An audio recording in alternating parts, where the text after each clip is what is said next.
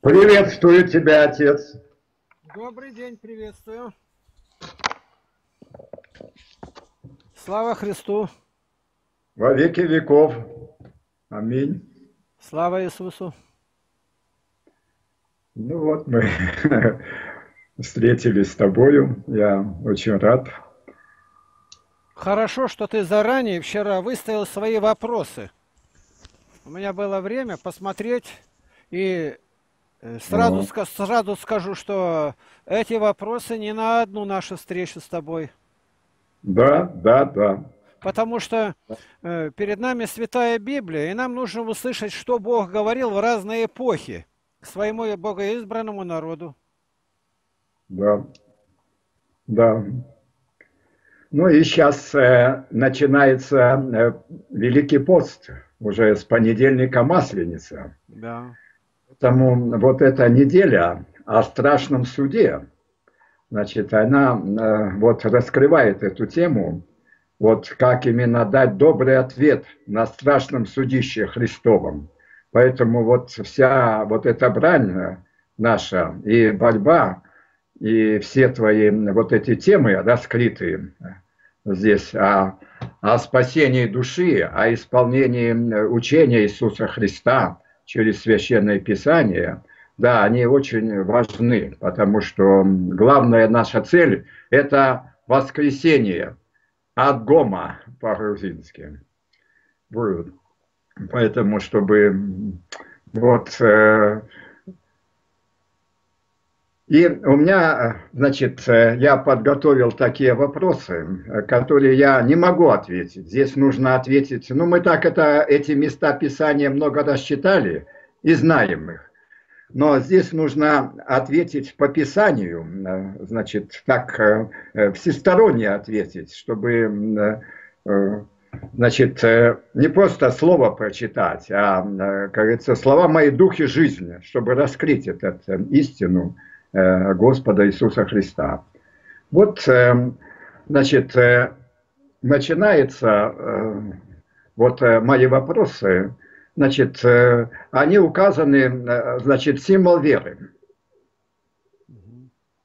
Э, Вот э, здесь э, такое, э, такое, э, значит, отрывок символа веры. «И паки грядущего со славою судить живых и мертвых».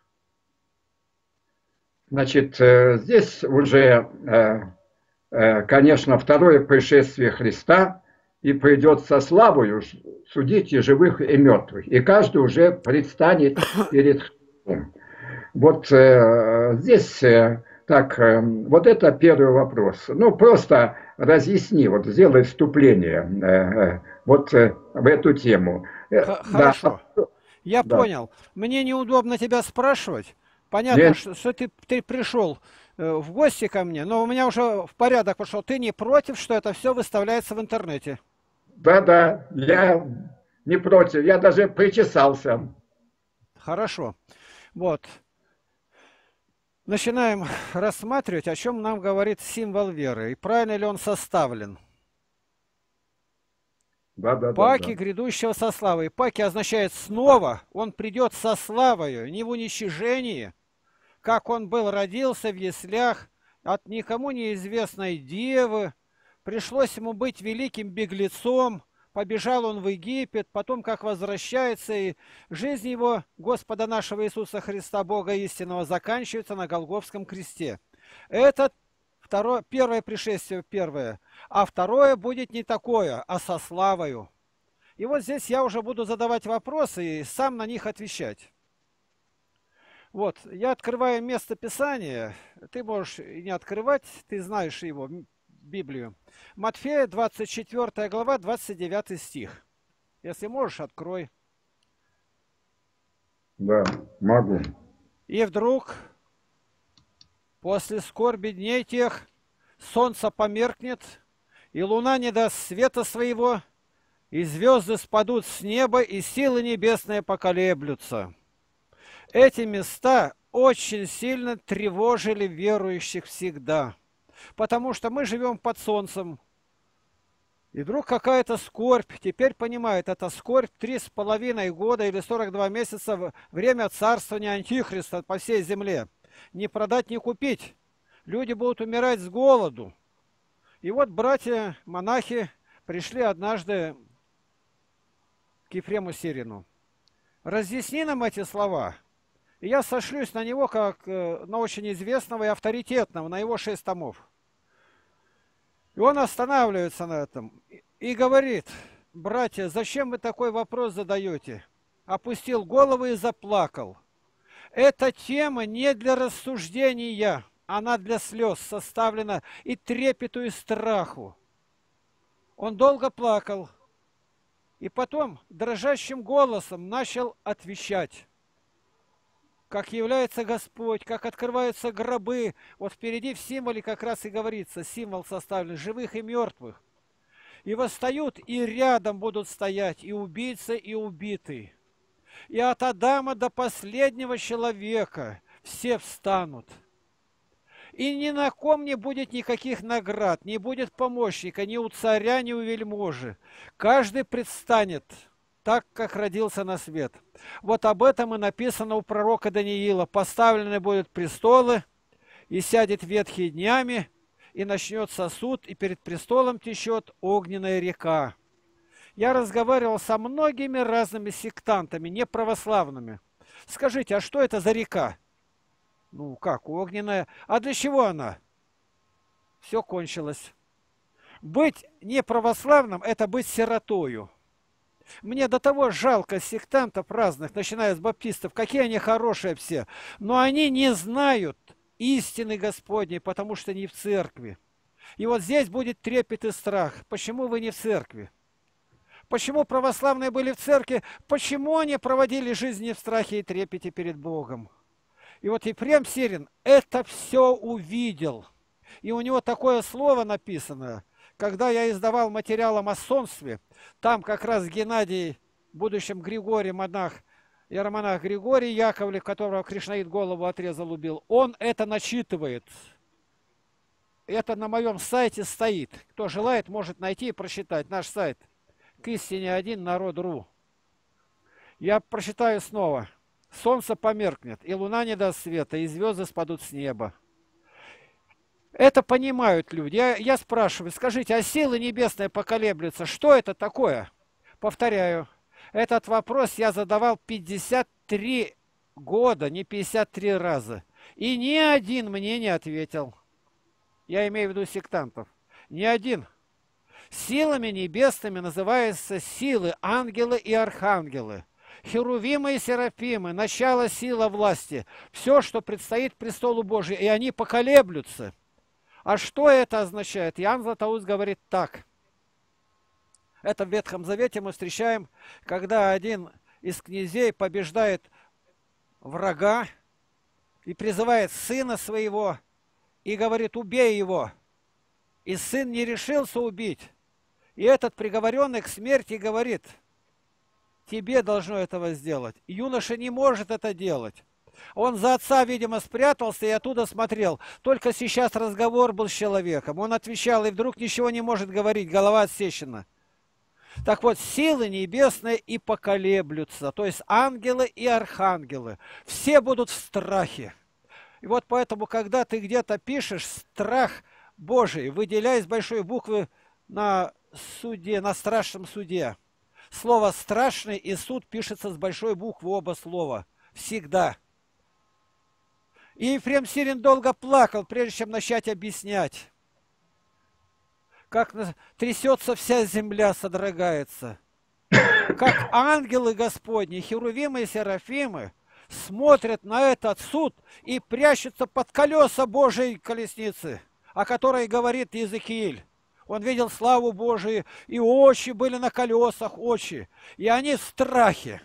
Это вечная расплата наступила. Это конец мировой истории. И силы небесные, то есть те, которые прислуживают Богу, нам, ангелы, они содрогнутся. Что же будет там с человеком? Ни одно сердце не выдержит. Но так как будет иная плоть, то человек выслушает до конца. И это огненная река для того, чтобы все прошли через нее, как через Иордан, при вхождении в новую землю, в новую жизнь. И праведники, либо в огне будет испытываться огнем, огнем, вот этой рекою. Больше толкования нигде я не нашел. И праведник воссияет, как золото из горнила. И сосуды расплавятся. То есть как? человек, душа войдет в плоть воскресшую. Эта плоть будет новая, бессмертная, бесстрастная. А грешник выйдет, как головня обгорелая. Вот поэтому в послании к Коринфянам, когда апостол Павел говорит, и кто нарушит одну из малых, ну и это у Матфея написано, одну из малых, малейших заповедей малейшим наречется. Это означает малейший, повторять, юнейший, то есть более юная заповедь, только что данная, свежая. И блаженны нищие духом, блаженны плачущие, блаженны, когда имя ваше будут поносить, как неугодное. Блаженство означает здравие, сила, благословение Господня и в этой жизни, и в следующей. Малейший означает погибший, а не спасенный. Судом Божьим называется малейшим наречется в Царстве Божьем. Царством Божьим называется пришествие Иисуса Христа. Пришествие, а не просто Царство Небесное. Христос приходит не один, а с Царством Своим. И вот эти люди, нарушители девяти малейших заповедей юнейших, они будут малейшими, погибшими. И когда я это объяснял сектантам, они намертво не принимают. А почему? Полное стопроцентное обольщение. Это я тебе показываю из святых отцов обольщение у православных. Почему? Потому что на этом обольщении главная вина будет на священниках. Они обольстили, берут их свободу, слепец ведет слепого, оба упадут. Нет, все понимают, батюшка отвечает. Я говорю, да за себя ответить? Нет. Я зачем буду знать Библию? Зачем мне это считать? Батюшка знает, он мне грехи отпускает. Вот почему Иоанн Златоуст говорит, большая часть священников погибает. Ты возложи ответственность на них, как пастырь. Дорогой мой близкий, ты бы знал, как я люблю тебя и как хочу, чтобы ты спасся. И вот силы небесные поколеблются. Когда я первый раз читал Евангелие в 1962 году, то, видимо, одно из первых мест, которое я запомнил, на корабле работал, мне подарили, это Слово Божие – Иоанна, 8 глава, 44 стих. Дьявол есть лжец и отец лжи. Когда говорит ложь, говорит свое. У меня не было лжи. Я с детства был в страхе Божьем. Я не знаю, что солгал где-то хотя бы один раз. Но Господь знает, где я спотыкался и что со мной было. И я понял теперь, я никто, я навеки погибший. Вот Бог дал мне это осознать и лжецом, и убийцей как Ава Агафон. Ни одно, ни одно обвинение не отверг, все принял, но не принял только одно, что ты еретик. Там обвиняли убийцей, пьяницей, блудником, он ничего не делал. Но, говорит, Павел, говорит, ничего за собой не знаю, но тем не оправдываясь. Бог мне судья. И вот здесь, когда сказали еретик, а это не по немощи плоти увлечения грехом, а по противлению церкви. Это умышленно я напрягался, чтобы опровергнуть. Вот почему я так скорблю о сектантах, да и о православных, которые нарушают заповеди. Я повторяю, заповеди Вселенских соборов поместных священники с легкостью отбросили. Не хотят крестить правильно полное погружение. И все это ищут какие-то отговорки, на епископа ссылаются. Не сошлетесь. Написано, каждый за себя даст отчет Богу. Не судите никак прежде времени, доколе не придет Господь. Оставьте мысли о канонизации. Оставьте, что сегодня монах, завтра монах, схемонах там. Это не поможет. Это игра детская. А вот отвергающий меня, второй стих я запомнил. Евангелие от Иоанна 12:48. Господь говорит, отвергающий меня, с большой буквы, меня, не выдуманного Христа, не Иису, Иса у мусульман. Это не наш Христос у них. Он у них не от Девы, рожденная Духа Святого, нет. Он не умирал на кресте. Это не наш Христос. Отвергающий меня, меня с большой буквы, тот, который был от Духа Святого и Марии Дева во человечности. Вот символ-то веры как раз и под, подводит нас. Вот этого Христа кто отвергнется. А они, два миллиарда мусульман, отверглись его. Горе-то какое! Хорошие люди, хорошие труженики. Они не боятся смерти, идут умирать, но они Христа не знают. И не принимающие слов моих, они принимают другую книгу. Они не верят этим словам. И Господь говорит нам через святое слово свое, через святую Библию. Этот человек имеет судью себе. Судью уже имеет, сегодня имеет. Познакомься с ним, подружись, войди в авторитет к нему, потому что он будет судить. Двоеточие. Слово, которое я говорил, оно будет судить его в последний день. Вот чай воскресения мертвых, где я воскресну. И говорит, и явится на, на небе тогда знамение Сына Человеческого. Какое знамение, я спрашиваю баптистов, разных сектантов. Повторяю, ни один не ответил. Это тысячи вопросов. Может быть, сотни тысяч человек передо мной прошли, перед большими собраниями, на площадях. И ни один не ответил. Почему? Потому что эту мудрость Бог дал уже учителям. Одних поставил, говорит, пастырями и учителями, в-третьих. Это послание к Ефесянам, в первом послании к Коринфянам. Слово Божие говорит, их отвергать нельзя. 12 томов полного собрания творений, не сочинений, как у людей. Златоуст не сочинял это творение. И он растолковал это все в восьмом томе. Восьмой том, седьмой том Матфея, восьмом Иоанна, девятый э, Деяния и Римлянам. Я насчитывал полностью их, поэтому знаю как. И У вот, меня есть. Э, да, я, я слушаю. Да, он будет судить. И мы чаем воскресение мертвых. И самый главный вопрос. Спасусь ли я? И вот теперь все остальное, как пишет Тихон Задонский, я мог бы выставить этот материал, но просто не позволит это сделать ролик. Все, говорит, друзья, что заработал, идеи, революции, особенно сегодня меня мешает патриотизм. Это идол. Одни заботятся слава Украине, другие слава России. И вот этот судья, он будет судить нас. И я это просчитал, и я понял. Мне надо войти в авторитет к этому слову, и оно меня будет судить. Для меня если только я не войду в то, что здесь написано, под эту новую конституцию, пропал я и пропал навсегда. Почему Иоанн Златоуст говорит, у любой страны есть законы свои, так называется закон. Но один закон, который в Персии, он не действует в Риме. Бывает, закон меняется с приходом другого калифа, императора. А Слово Божие вовек – и оно действует во все периоды политических изменений, на все века, на все народы, на все религии. Один закон. Я это просчитал, и я понял, какой я счастливый, что я вник в этот закон. Я много занимался человеческими законами.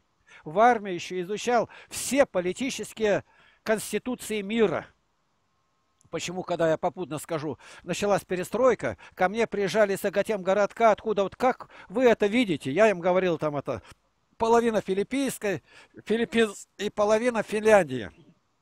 Чем разбавить? Ни одной конституции нет. Но добавлял, правитель не может быть верующим, потому что ему придется прибегать к насилию. Я так, между прочим. Так вот теперь, если мы думаем, на небе явится знамение Сына Человеческого, это крест животворящий. Крест. А сектанты все отвечают, да это Господь явится. Нет, написано Сын Человеческий. Затем явится, затем явится Сын Человеческий. Вначале знамение. Ян Златоуст говорит, и крест животворящий на небе, превышающий солнце яркостью в тысячи, десять тысяч крат. А с какой целью? Три причины – Православные этого тоже ничего не знают. Первая причина, чтобы страх навести на всех, которые жили не по воле Божией. Явится знамение, это как знак, что за ним явится сам Господь. И они, воскресшие, придут в трепет. Никакие флаги, свастики, звезды не помогут. Ни шестиконечная звезда, ни пяти, никакая, ни восьми. Мы будем оправданы согласно Его Слову. Значит, по Нему мне и надо жить. И все в жизни направить к тому, чтобы жить по Слову Его. Оно у меня будет судьею. Это мой Господь сказал. Я не могу не признать авторитета ни канона соборов, ни канонов святых, которые в книге правил. Не могу поставить выше Слова Божия.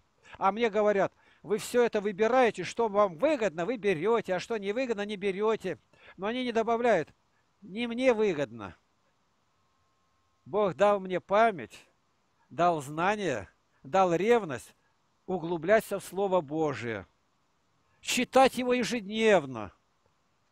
И поэтому, кто бы он ни был, я его сравню, не мне нравится, а что подходит, что оправдывается Словом Божьим. Если это не по Слову Божию, для меня нет авторитета. Почему? А на суде Божьем этого не будет.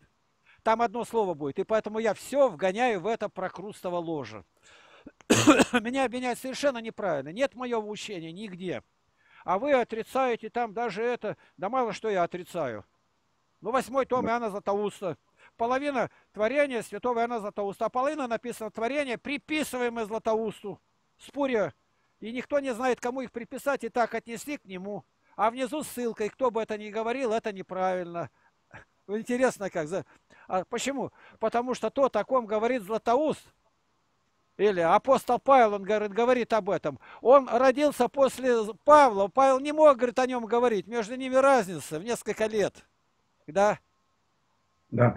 Значит, отец, я хочу вот э, продолжить вопросы по, э, э, по Евангелию, от, по этой 24 главе от Матфея, вот где сказал, что солнце померкнет. Здесь. Да, вот по порядку. Хорошо. Вот,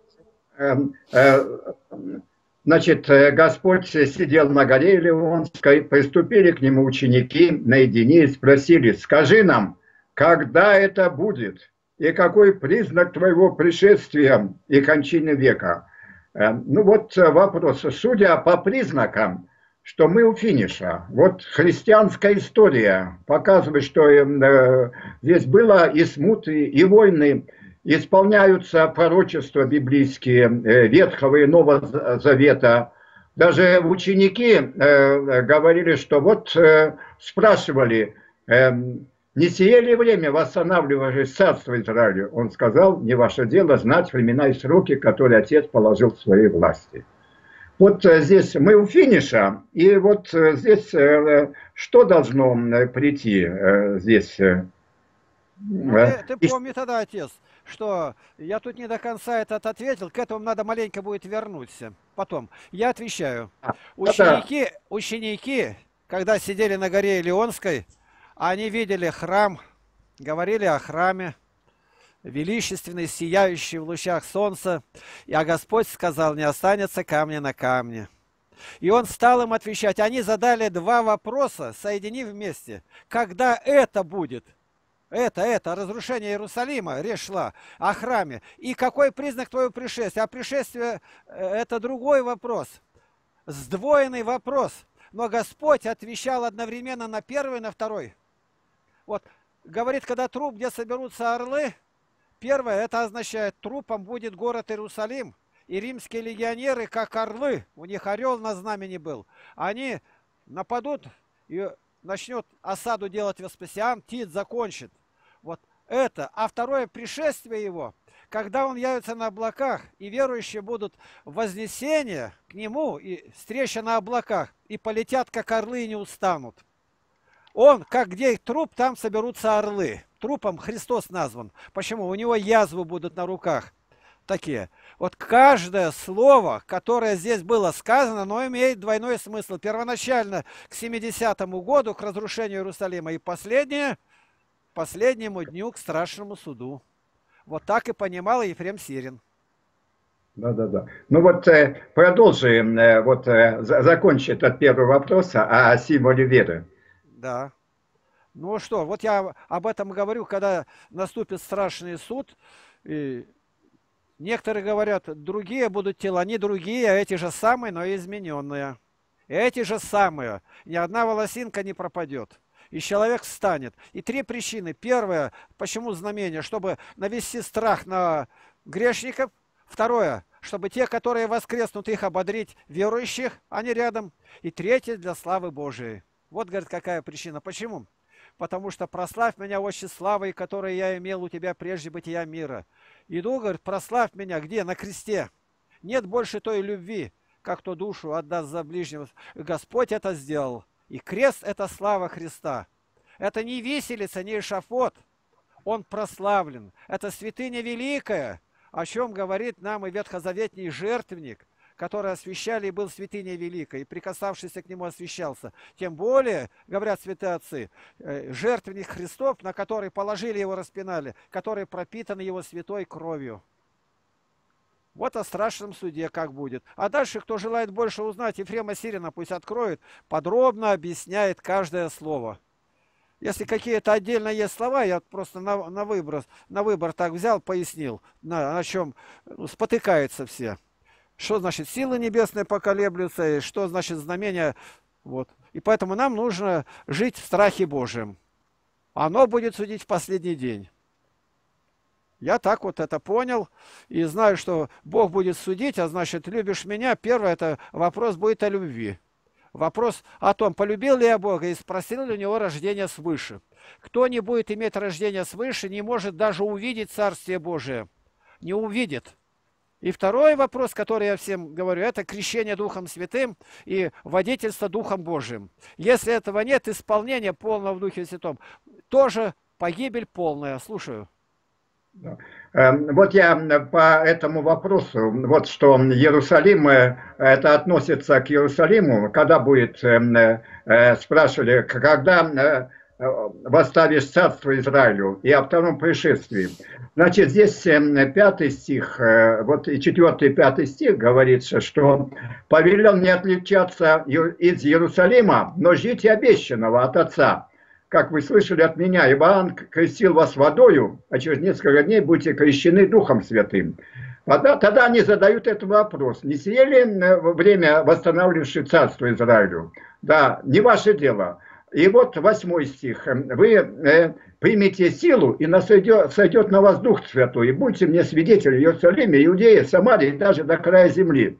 Э, да, и вознесся во славе. Значит, вот посередине, говорит, не все ли время? Значит, как связать это? Значит, вы будете крещены Духом Святым и примите силу, э, когда сойдет на вас Дух Святой. Значит, э, это, вот я думаю, что это очень связано, что именно крещение Духом Святым и, значит, когда восстанавливаешь царство Израилю, и э, не ваше дело знать времена и сроки. Это на втором пришествии. Я правильно сформулировал? Сформулировал это правильно, но вот относительно царства-то Израилева тут надо понять повыше. Когда мы говорим об Иерусалиме, мы знаем, что есть еще и небесный Иерусалим. Да. Я, нет, я, я именно, вот я об этом говорю, что... Вот, об, это, об этом мы будем говорить. Когда он сказал, будьте и сошествие Духа Святого, вот Пятидесятница.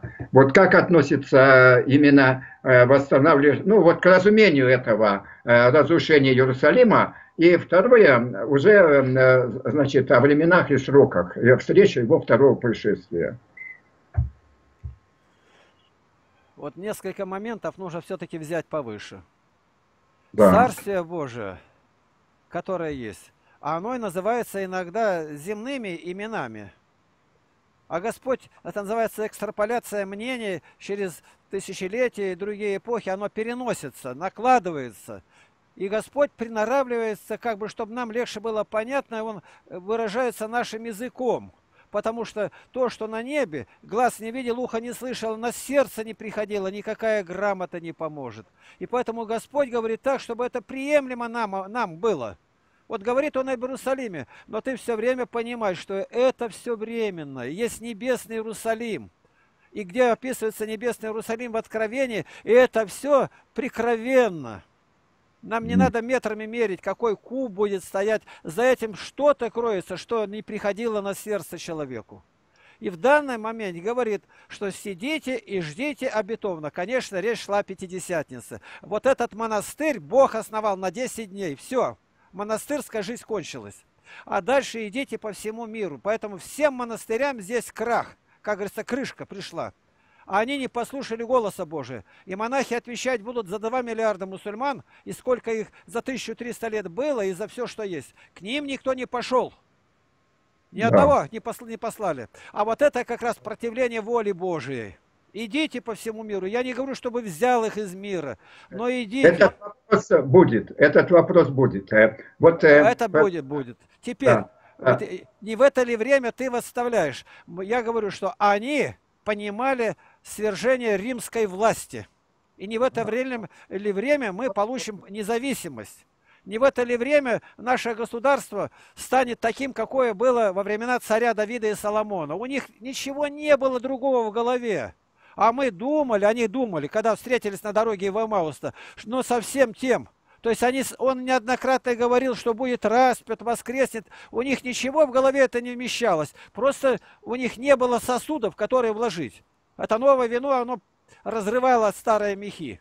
Да. И вот когда он говорил об этом, они мыслями были с ним на другом континенте. А слева и справа бы сесть, а мы министрами хотим быть. И вот он им и показал. Не этого ищите, ищите прежде Царствие Божие и правды Его. Царствие Божие прежде ищите, а они искали Царство Израильского здесь. И Господь, сказал, видя, что ничего не помогает, и он однажды сказал, говорит, как я томлюсь, как хотел бы не извести огонь с неба, и как я томлюсь, когда это совершится. Они его не понимали, и он как в тюрьме сидел, Христос. А, в оригинале, говорят, такой именно смысл заложен, томлюсь. Я не могу до вашего сведения довести, как это будет. Но он все-таки, Господь, возводил их на другую ступень. Не ваше дело знать времена и сроки. Израиль все еще тешится этой мечтой, и они Машиаха своего получат, и будет его царство, но царство не Христово. На земле он им не обещал этого царства а говорит, Царствие Божие внутрь вас есть. Царствие Божие не пища и питье. Но они понимали, что если начальник, значит и пища и питье в достаток. И мне, и моим знакомым, и близким, и ну, и все, кто расположен ко мне. Не ваше дело. Царствие Божие что? Мир, святость, праведность. Где? В Боге в Духе Святом. Вас. Радость во Святом Духе. А они об этом даже не помышляли. И вот это царство приходит, устанавливается, царство Израилева в нас.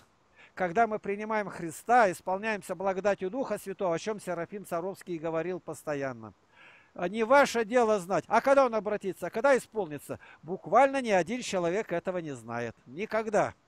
Вот, да, да, вот допустим, поэма «Нация на христианка». Он ее допрашивал, Альбин и допрашивая христианку, он вместе с ней уже пристал на арену перед львами и молвил Рим, и я христианин. Вот это и есть, когда вместе львы и агнец, и теленок будут вместе. Один рыкает, как Савл, а другой, как Стефан Ягненок, а теперь они вместе. И прострет руку на гнездо змея, на любое злостное учение и не повредит тебе, если выпьешь яд. Вот кратко, о чем здесь речь идет. Вопрос задан двойной, и двойной идет ответ. И, конечно, эти души, которые жили по заповедям Божьим, они будут со Христом. Он их не покинет. Из таковых есть Царствие Божие. А почему? Царство Божие подобно женщине, которая взяла закваску, положила в три меры муки. А, Матфея 13.33. Самая короткая притча. И ее объяснить не могут. Удивительное дело, ни православные, ни сектанты. Я говорю, ну есть. Ну это притча, это вот, не знаю, там сеятель сеять объяснен, а отец нет. Это душа, которая взяла семя Божие, Слово Божие, и положила в три меры муки. Первая мера – услышать, вера от слышания. Первая мера. Идите и проповедуйте Евангелие всей твари. В первое, в уши монахи воспрепятствовали, они за это ответят. И когда в церкви сегодня священники говорят, зачем тебе это знать? Ты ходишь, чаще исповедуйся, чаще причащайся не написано через рот, а через уши. Вера не через причастие приходит, а через святое слово, вера от слышания, а слышание от Слова Божия, от Святой Библии. Отец, сейчас я закончу три меры, чтобы не, нам не возвращаться. А, да. Второе. А, да. Если человек услышал и не поверил, это брошенное при дороге налетели и поклевали, демоны растащили. Как это? Кто уверует? и приняли, говорит, три тысячи человек уверовали. Это вторая мера допустить до сердца. Веришь ли ты? Вот он слушал, ехал Евнух, а теперь говорит, а вот вода, что препятствует креститься? А веришь? Верю. То есть вторая у него уже мера муки скисла, а третьей у него не было. А третья какая? Вера без дел мертва. Уши, сердце, руки, ноги, все органы, которыми мы движемся, языком, которым говорим. Значит, услышать, поверить, исполнить. Эта душа спасенная будет по Слову Божию. И из таковых спасенных Царствие Божие созидается. Вот как говори. Да. Ну вот э, дальше э, мы продолжим. Э, здесь вот эта же глава от Евангелия от Матвея, 24 глава. «Берегитесь, чтобы кто не прельстил вас, ибо многие придут под именем моим и будут говорить «Я Христос», и многих прельстят». Вот вопрос. О прельщениях здесь именно вот как мы православные, православной церкви. Ну, в мире э, здесь, э, значит, ну вот раскрою эту тему, прельщение в церкви и, и в мире. Ну, а прельщение в церкви, ну, хороший вопрос-то. Ну, вот слово «прельщать» от слова «прелесть». Давайте так скажем. Это прелесть, это э, принять ложь за истину, так, так формулировка? В общем-то так, но сначала разобрать слово «прелесть». Да-да, вот я говорю, а прелесть... Положительное или отрицательное? А, Допустим, прелестное лицо. Прелестное лицо. Я познакомился с девушкой, а у ней прелестное лицо. Мы говорим. Положительное. У православных не принимается за положительное. А они это как клеймом, как жупелом, как серые клеймят. О, это в прелести. О чем бы я ни сказал, в прелести исключить это слово из обихода. А теперь только возьмем уже глагол от него. Чтобы правильно понимать, берегитесь, то есть этого надо беречься. А где это? Берегитесь. Э, Евангелие от Матфея, 10 глава, 17 стих. Запиши. Матфея. Вот, 10, 10 глава, 17 стих. Берегитесь людей. Людей берегитесь. Вот написано, это уже под, после падения человека. В раю не, не могло быть это сказано, потому что нету. А чтобы не престил вас кто, змей престил. Завистью дьявола смерть вошла в мир. Вот об этом премудрости Соломона мы и считаем. Откуда она пришла? Завистью, позавидовал людям. Где престил? Чем? Знанием, приятностью на вид. И люди престились. Но результат был такой, которого никто не ожидал. Содрогнулась вся Вселенная. И потребуется тысячелетие, чтобы вернуть ее в первозданное состояние. Конечно, это Божий план. Так скажем так. Берегитесь людей, берегитесь. Прямо говорится, людей. Тогда враг был змей. Здесь потом... остерегайтесь людей. Это то же самое. Да. Остерегайтесь. Остерегайся, чтобы не упасть рядом пропасть. Берегись, чтобы не упасть в пропасть. Это не, не меняет положение, одно и то же. Чтобы кто не престил вас. Одно дело человек, который прещает не понимая сам заблуждение, другое, когда умышленно. А умышленно это Деяние апостолов, 20 глава, 29 стих. Роковые стихи для священства. И будут говорить превратно, чтобы увлечь за собою, то есть прещение. Сегодня это прещение в церкви. Прещают чем? Причастием. Это самая страшная игра, какая есть на земле. Люди многим играют, а священники играют причастием. А я не допущу до причастия, а я отлучу не за грех, за непокорность. Ему что-то сказали где-то. Я это много лет исследовал. И поэтому опасность для них, в первую очередь, их прельстил враг. Они превышают полномочия причастие, то есть тело Христова дано для всех. И их сам себя, ты должен. А сегодня так, не, ну обычно как? Э, церковь рассматривает, если человек согрешил, там прелюбодеяние 9 э, лет, там блуд 7 лет, и человек плачет, не уходит на четыре ступени. Он плачущий, припадающий, слушающий, куб настоящий установили. И он ждет, когда он причастится в первый раз. А если заболел в это время, когда отлучен был на 10, бывает даже на 30 лет за волшебство, вот, и заболел, его причащают, а он выздоровел, этот срок снова начинается с того, где он закончил. Сегодня наоборот. Человек за, собой что-то заметил, он ну, неправильно был крещен, просто э, лоб помощили, он не был крещен это. И он это понял, слушая наши передачи, и говорит, я хочу принять правильное крещение. И, а раз готовится к крещению, он и не причащается. Как взыграли попы, как родственники, да он не причащается, это бесы, это демоны его, это он через бас меня начинает клеймить. Человек это психиатрию, муж на развод подаю, чтобы так тянули к причастию, никогда в истории мира не было. Наоборот, от причастия отлучали, отлучали, если незаконно отлучали, их проказа покрывала. А чтобы тянуть к причастию, этого никогда не было. Я уже думаю, есть ли что в причастии в этом? Зачем с такой силой выходит священник и все время, кто не причащался? А исповедует три, а причащают другие три. Народу тьма. Никто никого не знает. Стоят совершенно неверующие, не, не крещеные. Я это узнал. И они причащаются, выходят и причастие выплевывают на улице. Говорили вино, а мне что-то попало в рот. Ойкает, стоит. Я собирал и потом тащил к священникам. Вот это безумие, это прелесть. Прелесть поповской среде. И что? А регламентирует каноны архиерей. То есть исполнять и исполнять архиерей. Больше безумия, безумия нельзя придумать. На вселенских и поместных соборах, если ты не знаешь, можешь записать было примерно, потому что цифра колеблется, примерно 1570 епископов.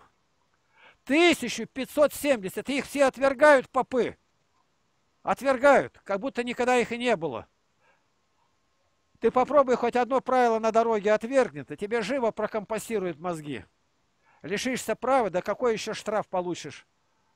Вот как. Берегитесь, чтобы никто не присел вас. Кто прещает? В первую очередь, в раю прещение было. Для нас церковь это как наша обитель. И там главное прещение.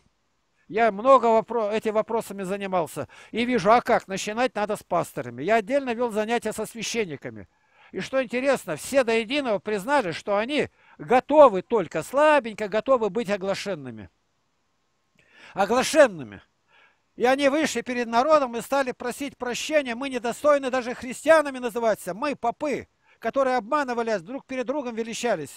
А он и надувается сегодня, по-гречески одно слово узнает. Ой, так это не только погружать, это омовение, это омывать. Да уже принято. Под водой скрывается, и Кирилл Иерусалимский говорит, что ты словами играешь-то? Да это обмакивать. Ну правильно, у глагола много значений. Есть слово «кос» по-английски, у него 28 значений. И что из этого? А ты по смыслу смотри. Крещение – это погружение. И в церкви сегодня не крещенных тьма 99%. Подумай, отец, как это дело выправить? Я кричу, а он гордый, он критикует. Я не критикую, я открываю правила. Правила крещения. Милоша, посчитай толкование. И говорит, если не три погружения крестит, да будет извержен. И так как на попах это правило апостольское 50 не действует, а они лютые волки, не щадящее стадо. Деяния апостолов, 20 глава, 29 стих. Вот главное, престители где? А дальше сектантов сатана обольщает. Они все спасенные, спасенные навсегда, мы спасенные. Да я по Слову Божию докажу в течение полчаса тебе приведу места Писания, где о спасении ты можешь говорить только как о дарованном тебе даре, которое обнаружится, получил ли ты его до конца или нет на суде Божием. И прямо только, на, ну они не признают святых отцов, я только одной Библии с ними беседую. И когда бы не беседовал, закончится полным покаянием у них, а у батюшек нет покаяния. Я говорю, где ты захватил слова-то страшные, говорить о них и будут говорить «Я Христос». То есть церковь Христа, у нас Христос, там э, Виссарион, «Я Христос». Вот пришли там где-то э, сети Рерихи, они как Христы. Беловодье там открывают и прочее, Блаватская. Это все под именем «Я Христос». Это Кришна. Это тоже перевоплощение разные говорят. Э, под видом Христа приходят разные там где. Это все спасители мира. Это все они придут и будут прельщать. Вот поэтому о прещениях в православной церкви меня больше всего это э, заботит. А как можно сделать? Никак ждать, пока Бог выжжет эту проказу. Я проказы называю священством. Большего ни, зла никто не делает, как они. они. Почему? Иоанн Златоуст говорит, я никого так не боюсь, как епископов. Это говорит он. Иоанн Златоуст. Пятый век только начинается еще. Как говорит об этом Дионисий Александрийский, об этом говорит Иероним Стридонский. Меня, говорит, допрашивают, обвиняют в ересь. Я отвечаю, мне не верят. И написано, состояние людей было такое, тупое, неверующее, что еретиков признавали за православных, а православных за еретиков. Это православные. И они сегодня такие же. Я это в обвинение в свой адрес постоянно слышу. Раскольник, там, сектант. Ну, вызовите меня на суд. Во свете Библии судите. А мне отвечают, они говорят, что, самоубийцы разве? Слушаю. Да. Вот э, я так понял, что здесь они, э, значит, дают причастие и не разъясняют главного его содержания э, здесь. Поэтому вот э, люди слепо причащаются, и вот э, как получается в осуждении. Вот откуда, откуда эта беда. Священники невозрожденные, они не рожденные свыше. Из них единицы, которые получили рождение Духа Святого. А они научаются друг от друга. У нас знакомая одна недавно пошла к батюшке и говорит, ну вот написано, он говорит, что ты Ветхий Завет берешь, он давно отменен. О. Отменен. А спрашивается тогда самарянин, два динария, которые дал в гостиницу, что это означает? Он не знает. Я говорю, а скажи, спроси. Евангелие от Яна 5.39. Христос говорит, исследуйте Писание, ибо через них вы думаете иметь жизнь вечную, а они свидетельствуют о мне. Он говорил людям, которые стояли перед ними. О каком Писании? Они Этот вопрос, да, вопрос, после смерти воскресения, я закончу, после воскресения Христа, первое Евангелие от Матфея через 5 лет, Марка через 7 лет, другие Луки через 15, Иоанна через 35, это приблизительно так. Христос говорил, конечно, только о Ветхом Завете. Его не было другого. Дальше, Евангелие от Матфея, 22 глава, 29 стих, запиши. Я его заучил да. наизусть первый день. 22-29 заблуждаетесь, не зная Писания, не силы Божией. Тысячу лет Россия жила без Евангелия, без Писания. Заблудили попы. Перевод сделали в 1879 году и сказали, что это для домашнего чтения. Сегодня не могут добиться, чтобы в церкви считать то, что принято, то, что издается по благословению патриарха, синода, зарубежного, дореволюционного, не дают считать в церкви. Считают ересью. Что спрашивать-то? Кто виноват? Кто эту прелесть посеял? Кто это все сделал? Это сделали священники. Кто главный еретики Арии? Ну, пресвитер. Кто такой Несторий? Патриарх. Кто такой Евтихий? Архимандрит. Кто главный это ересь? Это не сторожане и кухарки делали-то. И они теперь причастием играют. Они не причащу, и сдохнешь под забором. Прямо стоят и надмеваются. Да они что? Они о Голгофе не рассказывают, о крови, которая течет в оставлении грехов. Они эту Голгофу переместили в чашу. Нужно сказать, что чаша – это только оттуда, это вторичная чаша. Вторичная, не первичная. Первичная – это, ну без Голгофы какая чаша-то? Христос должен был умереть, и потом такая чаша появится. Только тогда. А они играют, а Голгофе ничего не знают. Причащайся, причащайся чаще, исповедуйся чаще. Я говорю, исправляются. Да нет. Все до одного священника мне говорят. Я говорю, еще этот куриный помет в бочке крутите. Как у меня был архимандрит от Юрасов э, Амброси. А как, и чтобы избавиться от этого? А так, рожденный от Бога не грешит. Подведите к этой ступени. Подведите к тому, что в любви нет страха. Они этого не знают. Еще раз напоминаю для тех, кто не слышал. Был такой архиепископ Василий Брюссельский. Брюссельский. Это недавние времена совсем, прям, ну, может быть, лет 40 назад, 30 лет назад он. Прям совсем рядом. И он а, Симеоне новом богослове писал. У него книга там такая есть. Но и дальше и говорит. Перевод его делал Феофан Затворник. Василия этого нового, Симеона нового богослова. Симеона нового. И Феофан не решился переводить некоторые его труды. Феофан, знаток языка греческого не решился, да. А причина какая? Весь народ понял бы, что он неверующий. Почему они не переводят Исаака Сирина? Всего. Почему Семена Нового Богослова скрывают? А там ничего другого нету, как рождение свыше, водительство Духом Святым. Почему этого не боялся Серафим Саровский? Вот тебе ответ. Прелесть-то главное откуда ползет? -то? Отсюда. И когда истину говоришь, они готовы растерзать сейчас меня. там где-то э, в Почаево какая-то группа, монахи, священники мной занимаются сейчас. Отдельно занятия Кемеровской епархии уже три года занимается, и нигде ничего нету. Нет ничего. Я на это отвечаю. У нас был епископ 13 лет Евтихий, как-то сидели мы с епископами здесь, и он говорит, вам, Игнатий, никогда не обвинить в неправославии. Он сугубо православный. Они прещенные. А почему?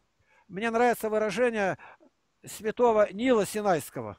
Нил Синайский. Он говорит, предвзятость, то есть заранее настроенный против, предвзятость не дает здравого мышления.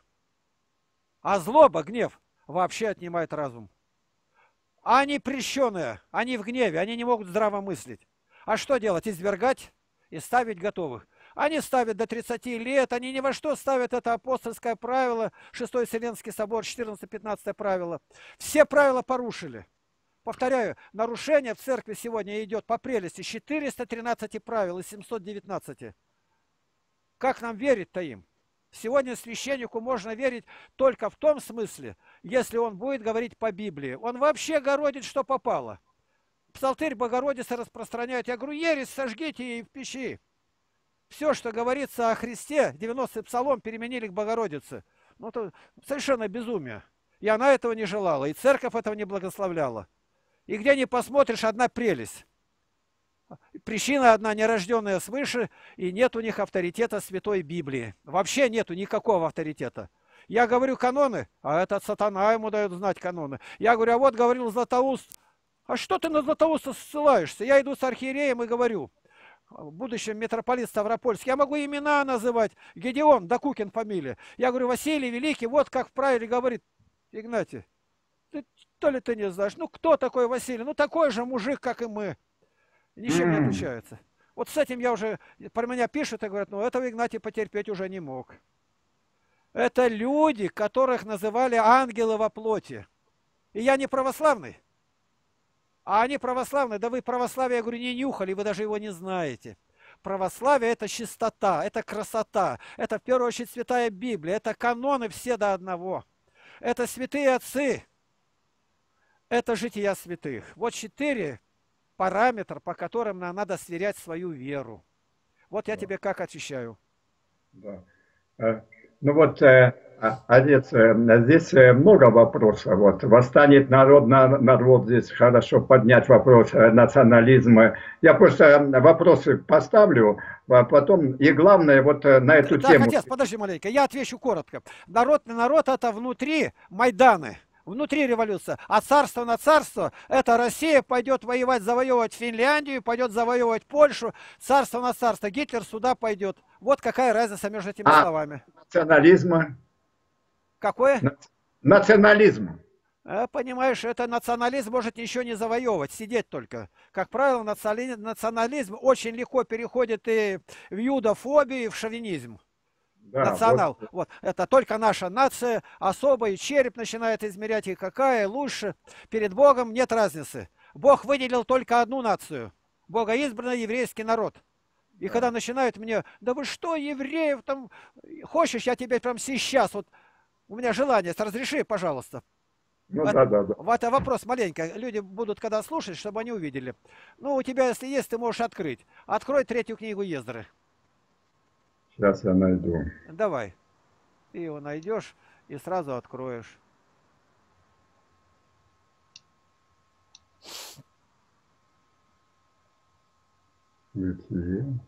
Так, так, третья книга Ездры. Слушай, у меня этого нету. Как нет? А, здесь... Есть, внизу, меня... в самом внизу. Вот. Третья книга Ездры, пятая глава. Ездры. Но да. Ездры здесь одна книга. Третья книга Ездры. Ездры одна книга здесь только есть. А, нет, это у тебя не каноническая, это не православная у тебя Библия. Да, вот. да, да, у меня не каноническая.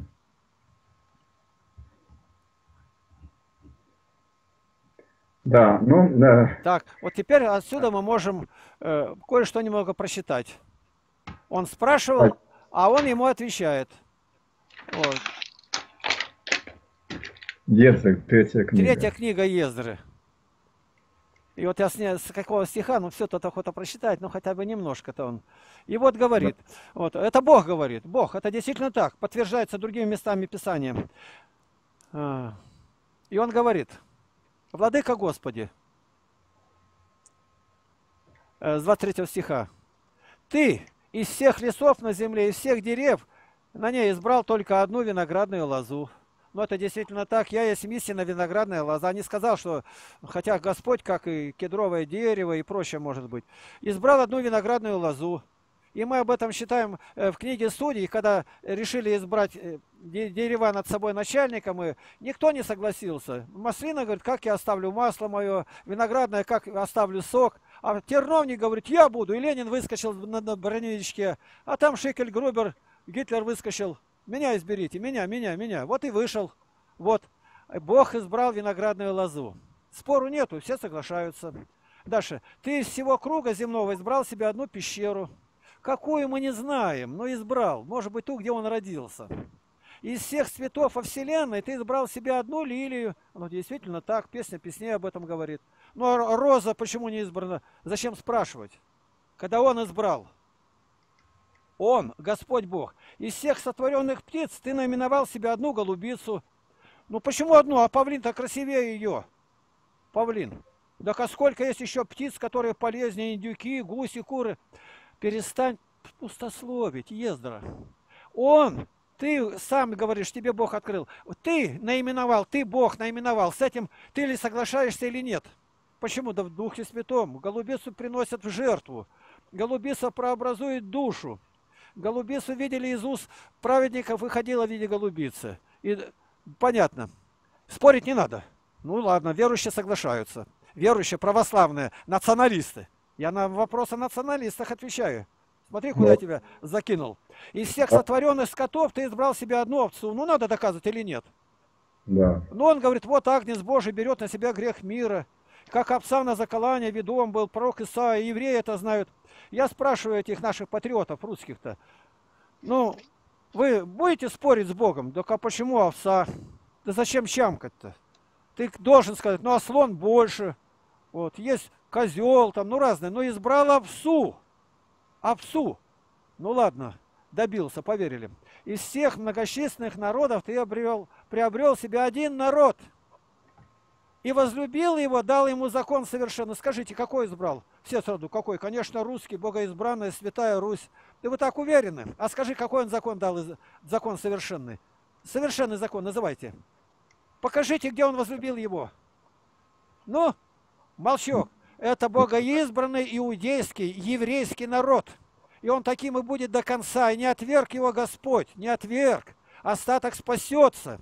И я из народа израильского, Павел говорит, но ныне, Господи, дальше поясняет, а чего же ты предал одного, этот народ, многим, и на одном корне ты насадил другие отрасли, ну, как говорит, э, по природе дикие привелись-то, и рассеял твой единственный народ между многими народами, и попрали его противники обетованиями твоим, а, это, противники обетованием твоим, которые против, и заветом твоим неверовавшие. Вот у русских народ вот эта иудофобия, Ненависть это, бей жидов, спасай Россию. Это не на пустом месте выросло, а того, что Библию спросили, сбросили.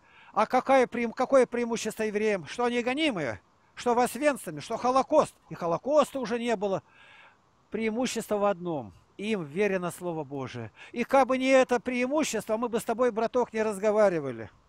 Дорогой мой милый еврей Наум, ты счастливый человек – к избранному народу относишься. Но если ты не будешь исполнять волю его, ты содрогнешься. Горе всякой душе. И, во-первых, иудею.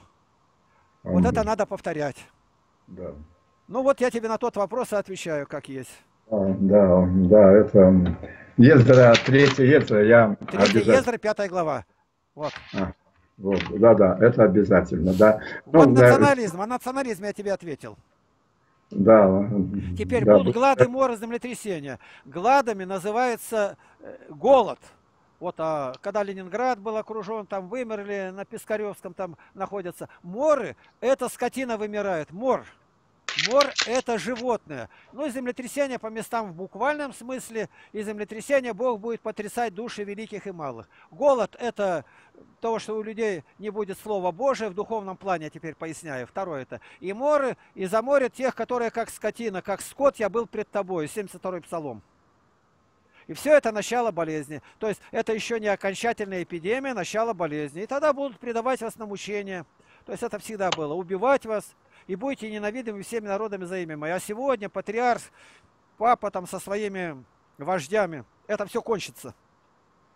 Мы должны людей учить сегодня правильно болеть и правильно умирать. Болеть с благодарением Богу – это дар Божий. И умирать правильно – это великая честь – умереть за Христа. Я вспоминаю, как э, русские в, в Афганистане были, и афга, афганцы говорят, ну, нам попадали русские в плен – шурави называют их. Ну и ведут на расстрел, говорит, а он плачет. Готов что угодно сделать, лишь бы только остаться живым. Говорит, плохой народ. Разве можно плакать? Ты идешь к Аллаху. Ты должен с улыбкой идти. У них часто бывает перед повешением, он улыбается народу и идет. Смерть ни во что нужно ставить. А как это видно? Нам пример брать не с них надо, а со святых. Вот Гури Самон Авив, как Георгий Победоносец, ну и по порядку, как Стефан умирал, как апостол Павел, Петр. Всегда христиане шли радостные, торжествующие. Вот э, у Джона Буньяна э, «Путешествие пилигрима» об этом говорится, там огненная колесница подхватила и понесла, ну, по образу пророка Илии. Вот вопрос как. Гонение в современном мире ты задаешь. Соблазнятся многие, то есть соблазняться не пойдут на это. Вот это сейчас что, секс меньшинства разное называют. Все заменили другими словами. И они набрали такую силу, что если кто назовет их садомитами, то их людей судят. Судят. И главное, судят за что? Я посмотрел, сколько лет дают. Это даже поверить нельзя. Ну, пришли к этому. А как? А ты умри за это и называй их только так. Садомляне должны сгореть. Это начало болезни. И будут предавать на мучения, убивать. Ну что, это нам предсказано. И придет, говорит он, и будет бороться, и дано ему святых победить. Это единственная религия в мире, которая сама себе говорит о полном своем истреблении. Если мусульмане говорят, что мы захватим весь мир, то христиане говорят, мы потеряем весь мир. Наоборот, дано победить. Ну, кое-где останутся в ущельях, потому что при счастье все творите в моем воспоминании, доколе он придет, то есть за пришествие Христова. Почему многие соблазняются, ты спрашивает. Соблазняются и не ходят в храм. А зачем туда идти? Один священник, это Петр Мещеринов пишет, э, разговаривает, видимо, он сам и разговаривает, э, со своим бывшим прихожанином или как, и говорит, что-то тебя долго не было. Так а я сейчас в православие не хожу. А куда ж ты ходишь? К баптистам хожу. Я, говорит, обошел все православные храмы, ничего о Христе не говорят. А те хоть что-то договорят. Вот и все. Почему Иоанн Златоуст и говорит, если одна душа погибнет по твоей вине, о священник, тебе не хватит всей жизни. Я лично с тобой хотел поговорить на эту тему. Да. Вот сейчас ведут люди занятия, я говорю, а вы по занятиям-то смотрите, как вы, они вас слушают или нет? Да вы что-то... Ну, ли человек ходит и ходит, что надо? Ходит, причащается. Это обольщение. Надо, чтобы человек исполнял все. Было благоговение, страх Божий. Я у тебя видел, как э, люди одеты, полураздетые стоят, женщины. А я спрашиваю, а почему вы так одеты-то пришли? Ну, прям все. И грудь открыта, и, и э, рукавов нету. Ну, тут, знаете, это Грузия, это жарко. А у вас мусульманская мечеть есть? Начинаем говорить, да в этих южных странах южнее вас живут. И ни одна даже на улицу не выйдет, а вы в храм Божий пришли. Если ты сейчас будешь настаивать на этом, одеть их прилично, как говорит, ну, пристойно одеваться святым, как прилично святым. Э, апостол Павел пишет к Титу, «Э, они тебя возненавидят. А ты добейся, у нас на занятия, на занятия в университет у меня не приходили в брюках. У меня не приходили без платка ни одна женщина, ни одна девочка. На занятия в университете. А уже про церковь у нас и говорить не надо наших людей за мусульман признают, смотря на них. Добейся этого. И ты уже даже сегодня начнешь или искать извинения, это 141 псалом, да не уклонится сердце мое для извинения дел греховных, там, или будешь трудиться в поте лица. Тут тебе, конечно, главная помощница была бы жена. Она легче с женщинами. Найди таких, имеющих страх Божий, переодень их. Мы православные, у тебя бритых сколько в храме-то? Ты добейся этого, чтобы не было. И есть такие, которые курят, и ты это знаешь. У меня даже, которые курят, они имели для себя маленькое послабление на занятия, когда ходили в университет. В этот день не курить, в этот день хотя бы. Я не мог требовать, это не прихожане. Но если он курил, и от него пахло, мы с ним расставались. Я ему запрещал приходить на занятия. И тогда человек бросал, бросал, скрипел, но приходил, а потом стал верующим. И вот соблазнятся многие. Почему? А какие вы верующие? Вы что-то все смотрите, галстук не так застегнутый должен быть. А застегнись. На меня нападают, а они не понимают. Я, я с ними разговаривать не буду. Я говорю, почему у вас без пояса? Пояса нету. Но зачем пояс? Зачем? Запиши цифру. 103 раза. 103 раза Библия говорит о поясе. 103! Раз пояс, два пояс, три пояс, на день пояс, на день пояс. Тебе не по мозгам это? Да ко в Новом Завете. И в Новом Завете. Ще этот пояс, того так свяжут, это Павлов пояс был, Агав взял когда. Петр находится в вузах, это верующий человек. Ему ангел явился. Надо бежать скорее. Нет, говорит, обойся и припаяшься сначала. Сначала пояс надень. Да мне ли до пояса, мне выскочить скорее, не рассуждай. Повторяю, 103. А распоясавшийся только один раз. И говорится в отрицательном смысле, когда Рапсак подошел к Иерусалиму. Ему Изеки ответил, не хвались, подпоясывающийся, как распоясывающийся. Надень пояс. Пояс это знак истины. И начинает говорить, ну у русских это широкая одежда была, чтобы ветром не поддувало. Это животы, там наш разную глупость плетут. Какие животы? Лев Толстой стоит, посмотри, у него вот пояс, вот так вот стоит он, и рука стоит за поясом. Тебе видно или нет? Вот. Да, это, да. это для поддержания штанов. Ну как ты поддержишь штанами, когда среди где? То есть всякую дурь гонят. Это пояс. Сидят мужики, обедают.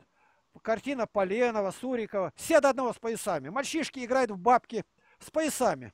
До единого все, все.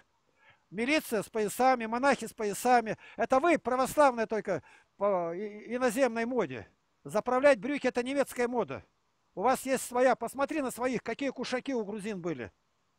Посмотри, как евреи подпоясывались.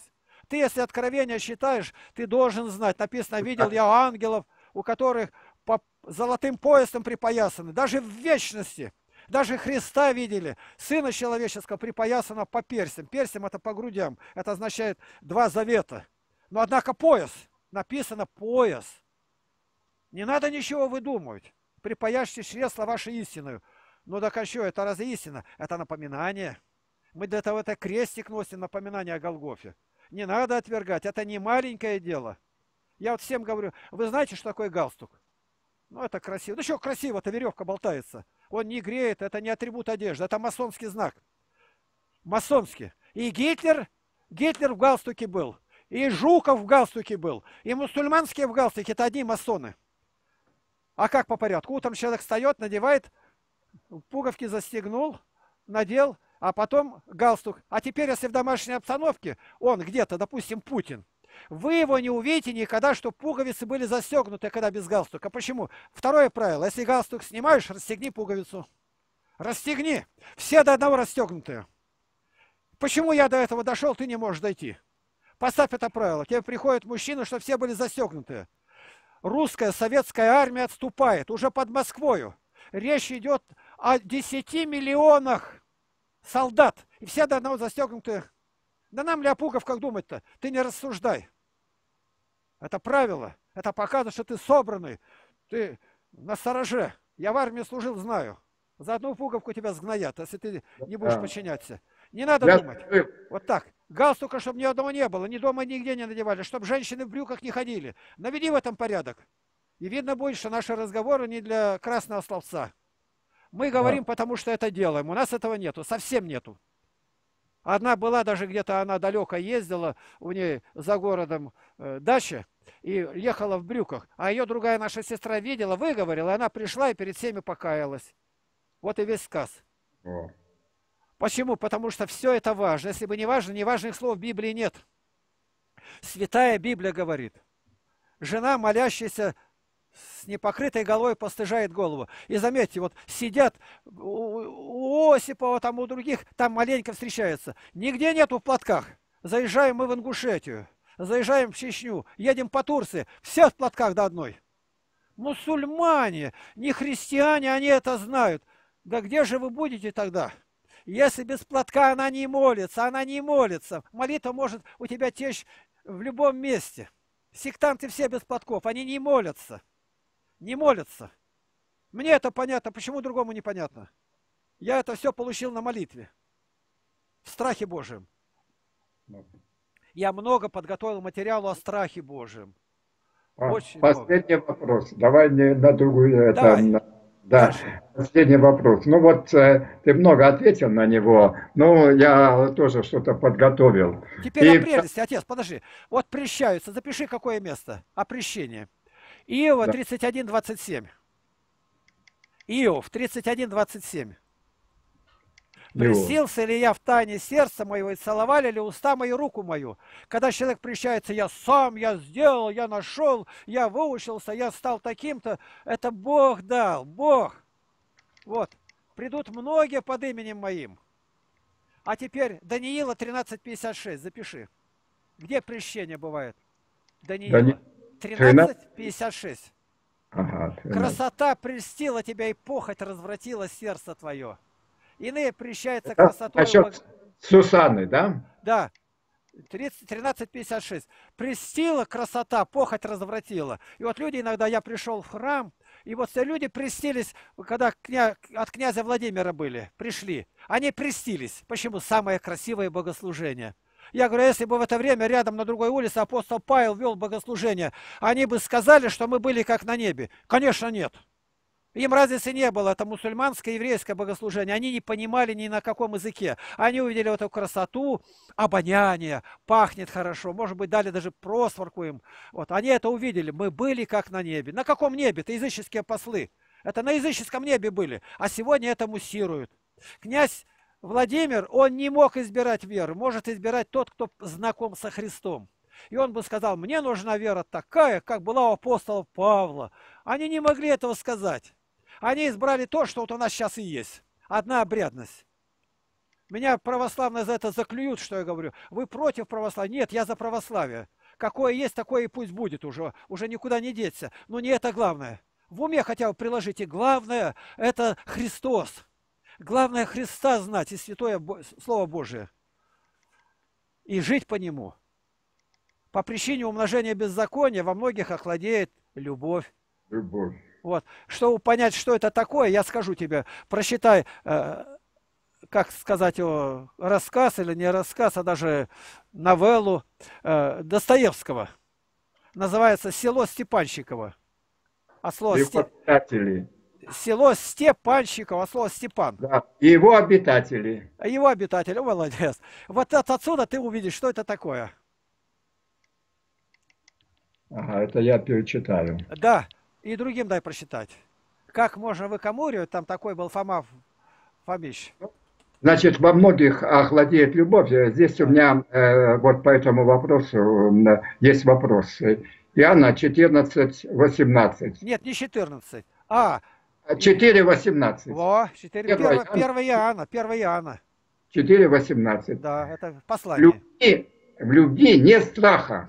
Вот совершенная любовь изгоняет страх потому что в страхе есть мучение. Боящийся несовершенен в любви. Так, э, отец, не... это вопрос большой, я его отвечу полностью, и на этом мы закончим, ладно? А, а потом ты придешь еще раз. Ну тогда, подожди, давай мы на этот вопрос оставим. Нет, а нет я... я, его, я вот тебе отвечу. А, потому что ты уже задал его. Я приготовил. Записывай. Я буду говорить, ты быстро записывай, долго записываешь. Вторая ну, Паралипоменон 19.7. Да.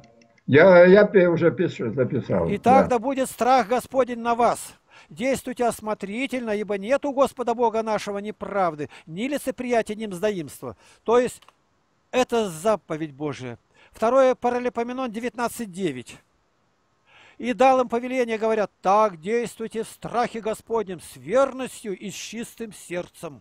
Я слова не объясняю, тут требует... Дальше. Вторая Паралипоменон, 20 глава, 29 стих.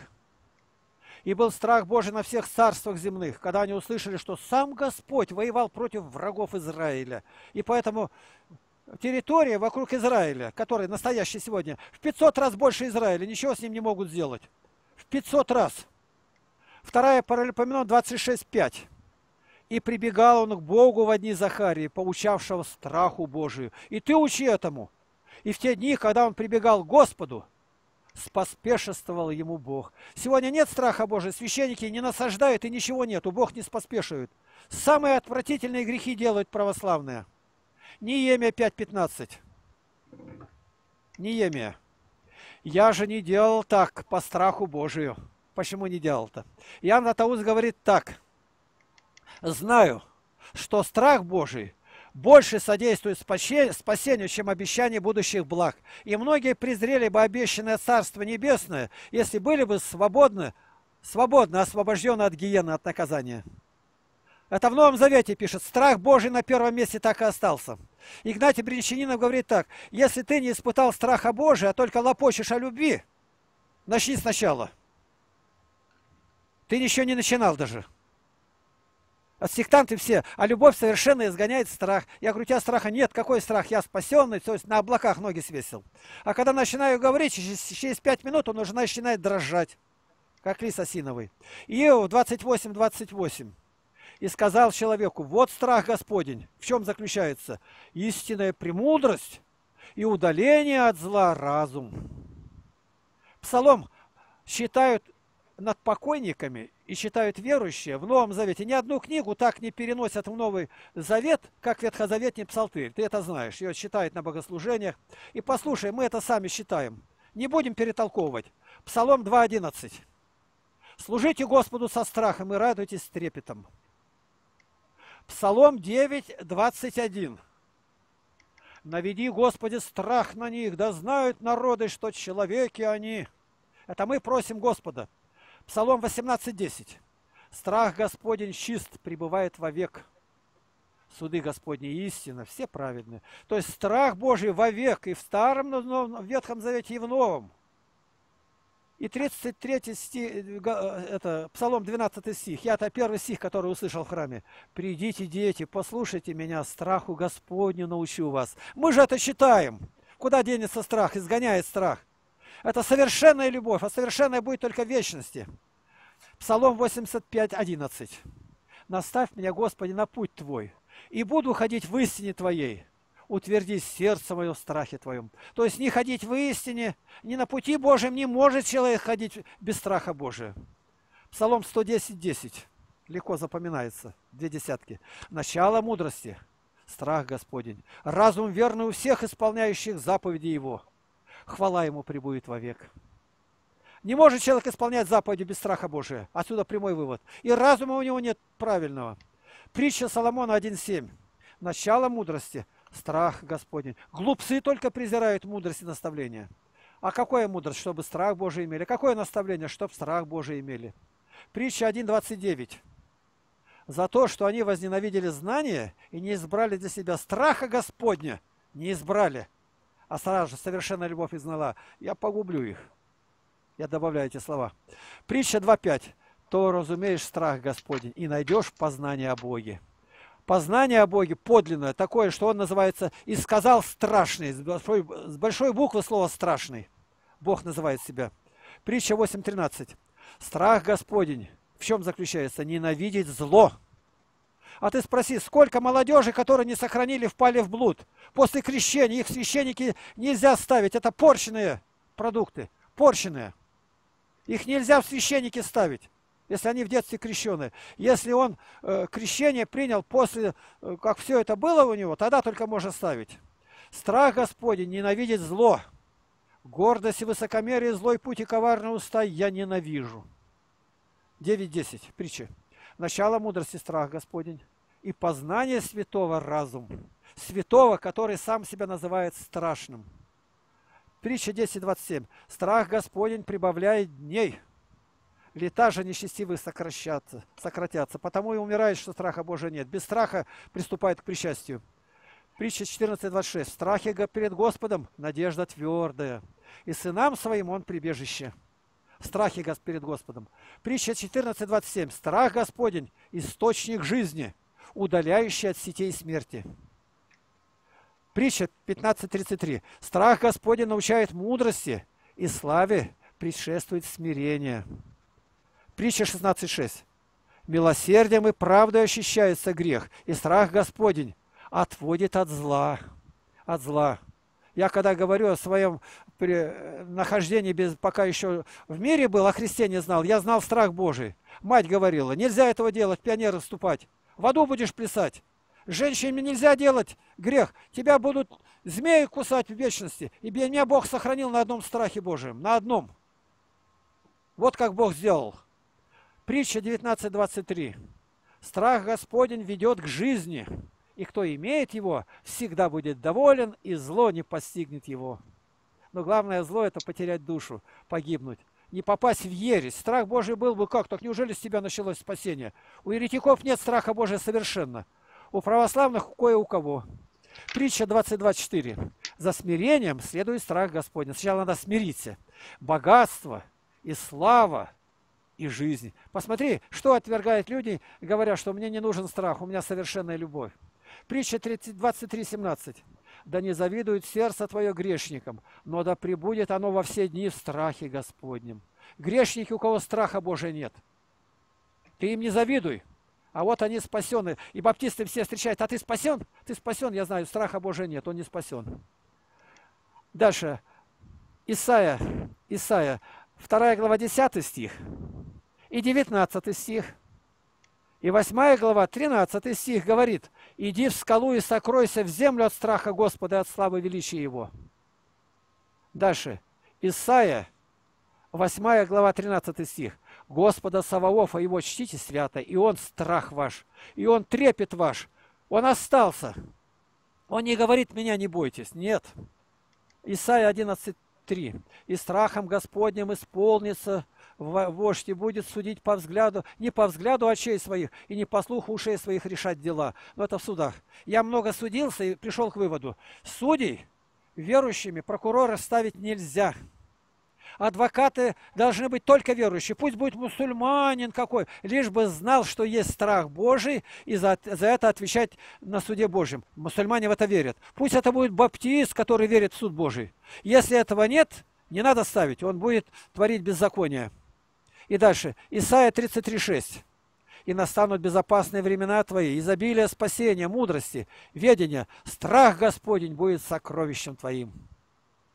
Иеремия, еще одно место. «Накажет тебя нечестие твое, и отступничество твое обличит тебя.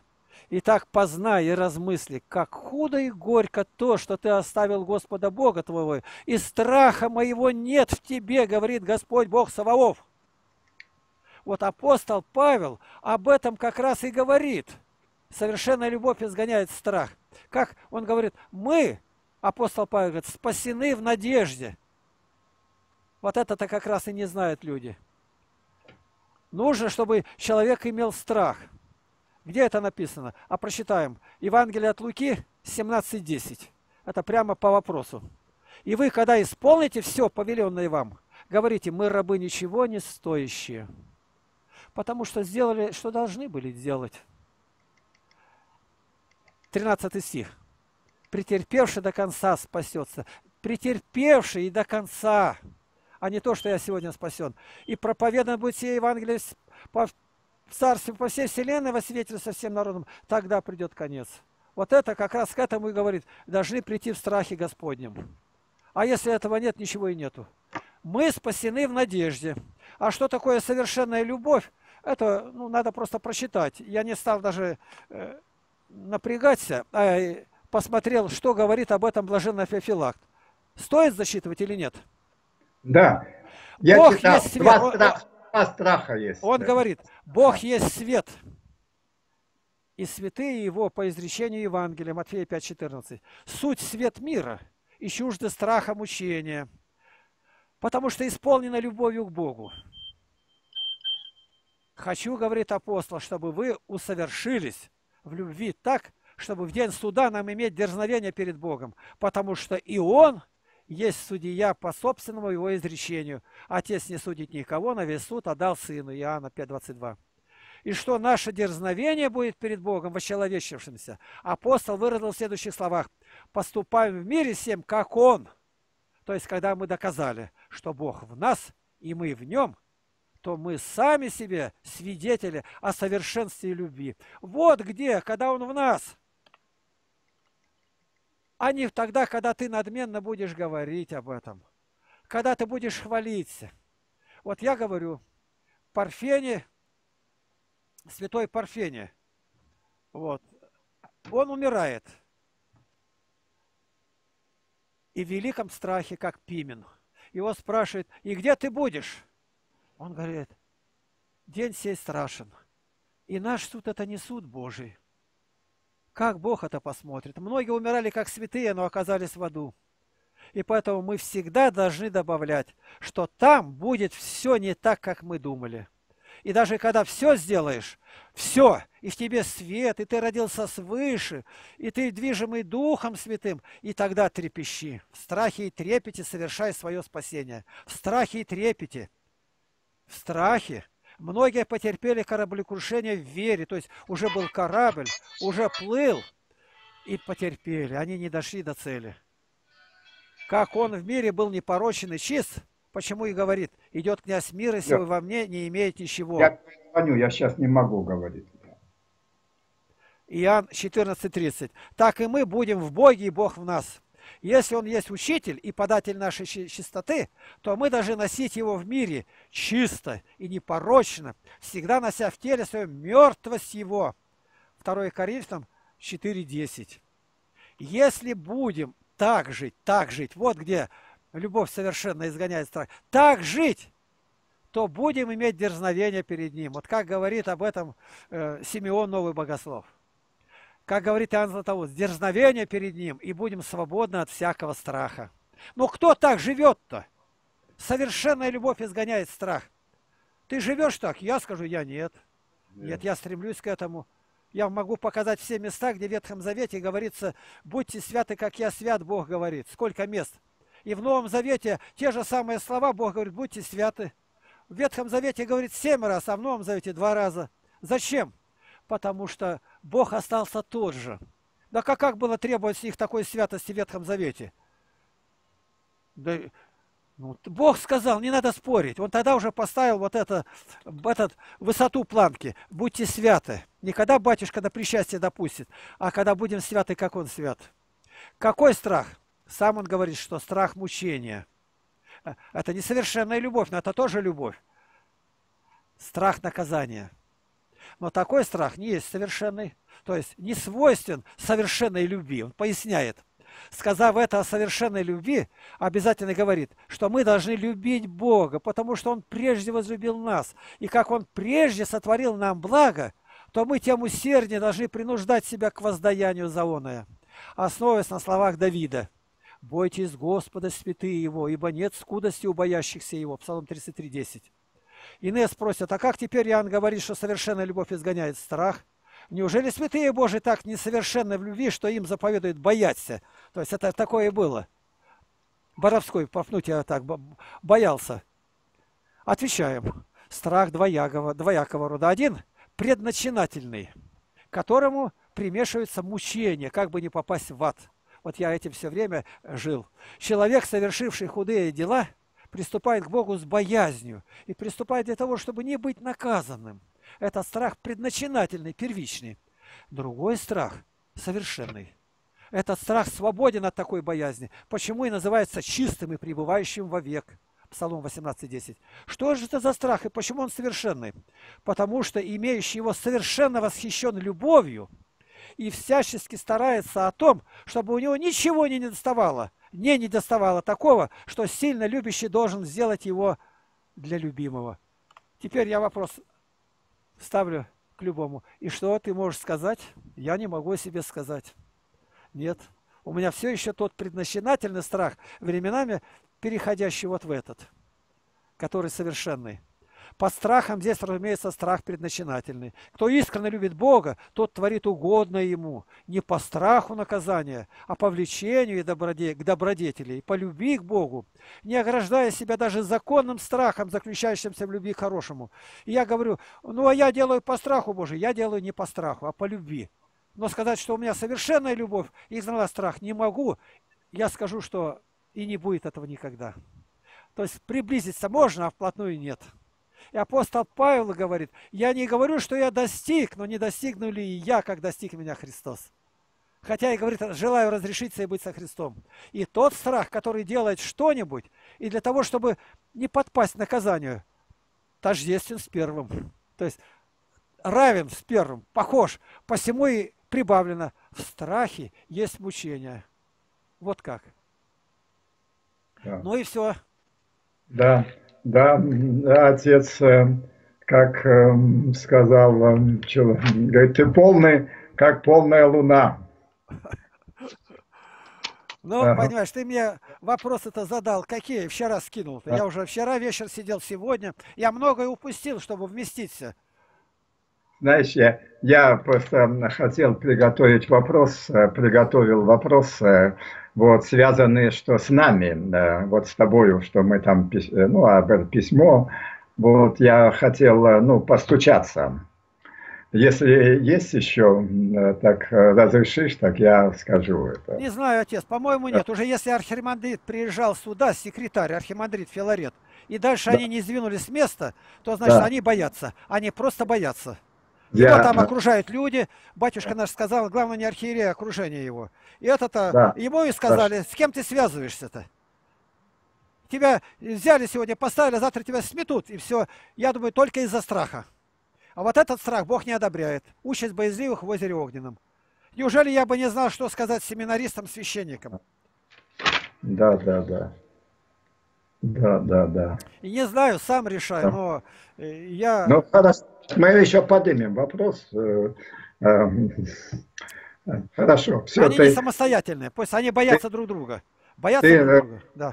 Ты уже ответил то, что я хотел сказать. Да, ну так вот. У нас хорошие отношения, может, да. потому что мы не встречаемся.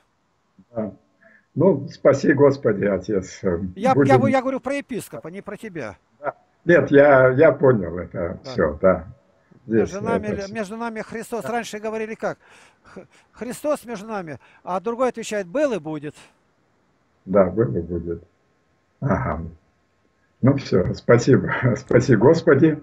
Я отхожу. Ну, да. слава Божию, но я тебе заброс-то сделал о внешнем виде, ты имей это в виду. Начинай трудиться. Да, да, да, я, я буду трудиться. Ты видишь в нашей общине, как люди одеты и как ведут себя. Тебе легче я... будет с ними общаться. Скажи, вы, Павел говорит, порабощаю, смиряю тело мое, дабы Павел говорит о себе, дабы проповеду другим, самому не оказаться недостойным. Павел допускал да. такую мысль, а сектанты не допускают, что же все навеки спасенное. Нет, принимаю, принимаю. По славу Божию, все. Я у меня напишу объявление, постараюсь объявление написать, и что мужскую э, женщина одевает, и мужчина женскую. Да, да. Я ну и говори об этом, говори. Скажи, как мы выглядим даже перед мусульманами-то, которые в более жарких странах в Африке живут и идут все до одной одеты. Мы были в Италии, во Франции. Все до одной по улице идут, как в мешке закованные. Да, ну, хорошо, да. Спасибо. Потому что мулы и мамы, все эти, которые у них, а, они занимаются своей паствой. Вот так.